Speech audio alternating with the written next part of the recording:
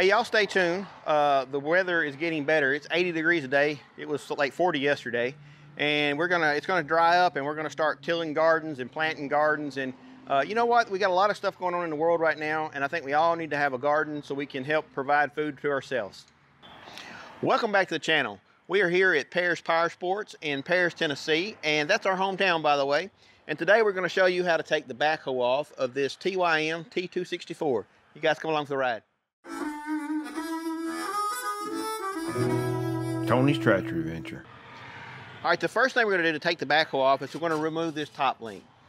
All right, we're gonna loosen up the pressure off this top link so that it, it has some free play there. Pull this pin.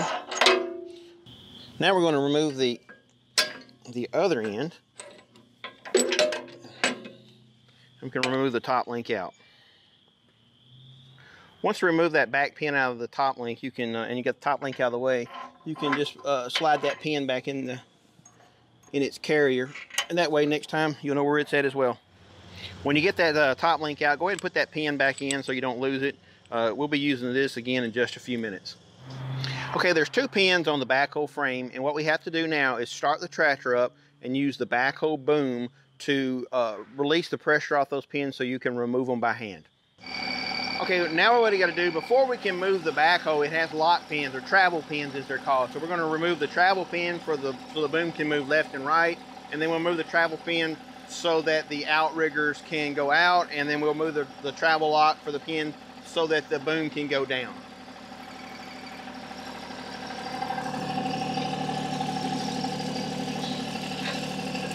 That one's already loose.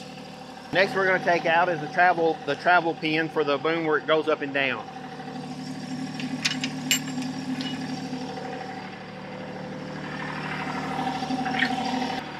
The up and down travel lock pin is a little bit longer and they have got a place for that.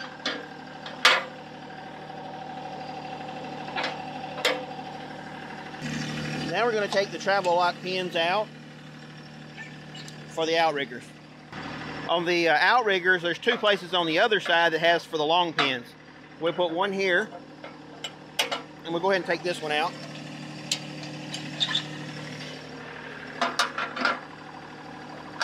That way we're not looking for these later on. So what we're gonna do now is take the pressure off of the backhoe frame so we can remove those pins.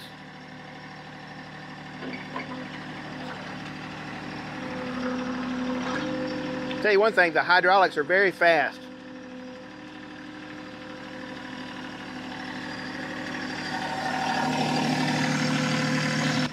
All right, once we get the uh, backhoe, the pressure off of the backhoe frame, you see I can move this pin freely. So then all we have to do is pull it around and then pull the little carter pin out.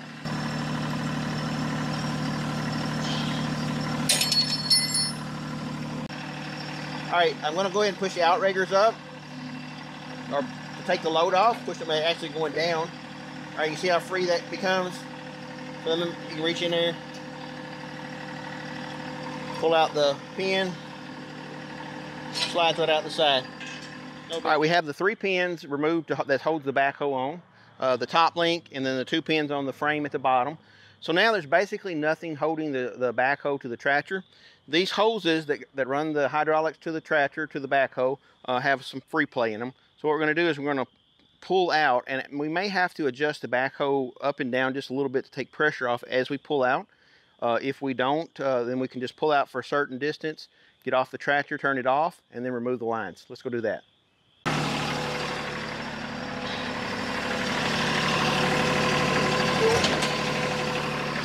All right, if you look down here on the frame, it's the frame of the backhoe is now separated completely from the tractor. Uh, there is no uh, nothing touching. So now we can disconnect the hydraulic lines. All right, now we're going to disconnect the hydraulic lines. Make sure you put your cats back on these. Keep the dirt out of these. Uh, it'll it'll save you a lot of headache in the future. You got caps on both sides. Set those hydraulic lines out of the way so they don't get pinched and cut. All right, now we're just gonna pull straight away from the backhoe. Uh, you can't turn left or right, you gotta come straight out.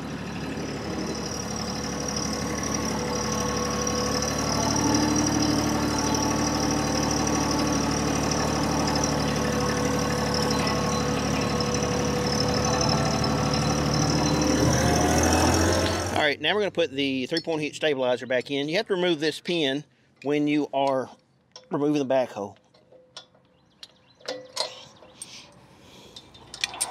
Put the washer and the hairpin. And then repeat the same thing on the other side.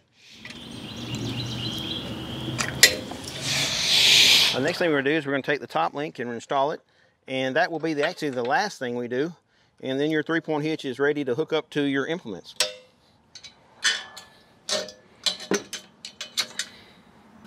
And there you go. Okay, well now we're going to put the uh, backhoe back onto the tractor. We have to uh, prep the three-point hitch. we got to take our top link off. Just going to set this off out of the way because we're going to use it in just a few minutes. All right, now we're going to take the hairpins out and we're going to pull this one pin out and drop the, the outside three-point hitch supports. We'll do that on both sides and then we'll be ready to back in.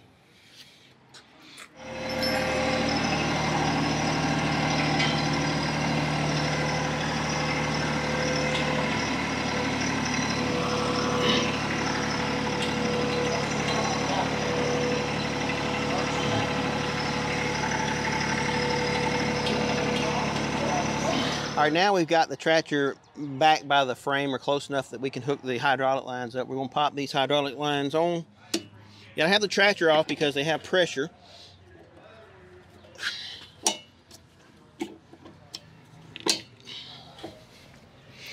Those string springs are pretty strong. I'm sure all that'll get easier as time goes on.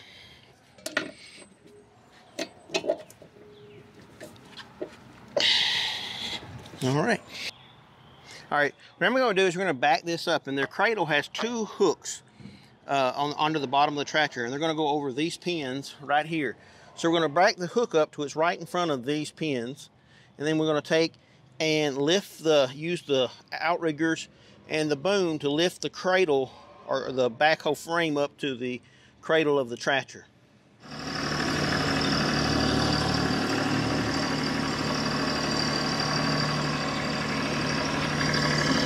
All right, so you're gonna back this up until this piece of metal here is in front of the pin and the hook's in behind the pin.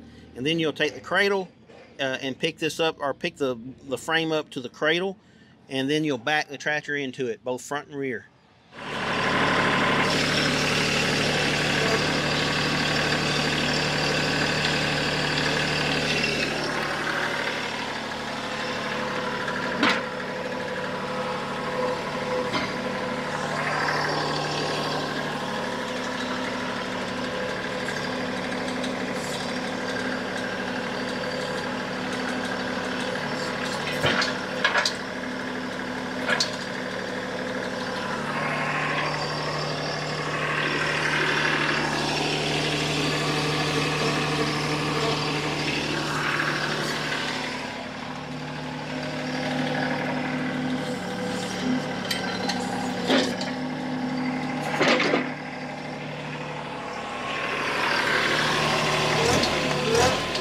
Right, now we're going to put this bottom pin in.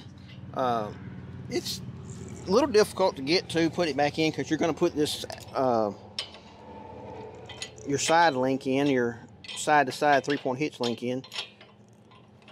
But you just pull the hasp up. Yeah, so I can pull this on. There it went. There you go. Pins in. This is one of them deals where after you do it a couple of times, you'll you'll get a little bit more proficient at it. It's really not a, it's really an easy system. So I'm gonna put the washer back on, and then I'm gonna put the hairpin back on.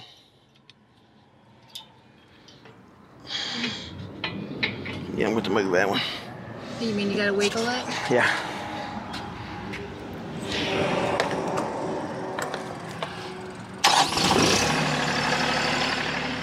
All right, before you put your side uh, three-point hitch link in, make sure this will slide all the way through. Sometimes you will have to move the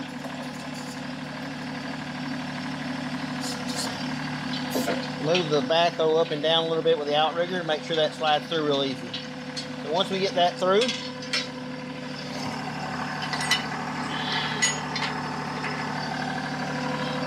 start our hasp, I mean our, our pin. put our clevis.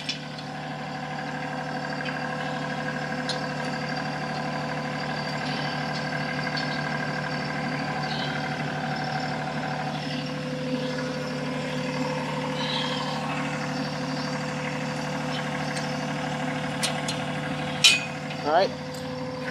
Like I said, it's just I learn I learn a little bit more each time. All right, next thing we're gonna do is put the top link in. And we may have to adjust this back out. We'll, we'll see. So we'll put the top link in there. And then the back pin over here on the backhoe. Just run that pin through. Put the hairpin in. See if I can get my head over here so I can see what I'm doing. It's tough when you got a big head. All right, then you're gonna, basically you're just gonna extend the uh, top link out till it reaches, it's not gonna be the same length as like on, on what you would use on a three-point hitch implement. So basically you're gonna just extend this out. And this just adds stability to the backhoe. It just makes it a little bit stronger. And I don't know of any other company that does it this way. Uh, I really do like that part. Just adding that top link on. I've seen three-point hitch backhoes that are similar, but not one with a subframe. So what we're going to do here, put that hairpin back through. And now we're going to be using using this for backhoe operations. We're going to take this top link and we're going to tighten this down. So it's going to help pull the backhoe towards the tractor and keep it from moving around. We'll take a crescent wrench here and lock this lock nut down and your backhoe's ready to be used. All right, now we're gonna put the uh, travel pins back into the backhoe so we can go up and down the road and it won't leak down.